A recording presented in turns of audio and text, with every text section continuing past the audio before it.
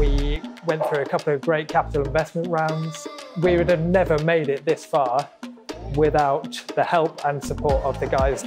Our glass ceiling has just been smashed apart and we've expanded and grown way bigger than we ever thought possible.